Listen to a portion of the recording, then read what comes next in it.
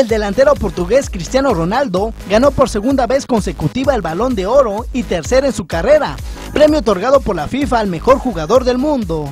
Cristiano Ronaldo arrasó las votaciones con un total de 37.66% de los votos. En segundo lugar el argentino La Pulga, Lionel Messi con el 15.76% y en tercero el portero alemán Manuel Neuer con 15.72% de los votos.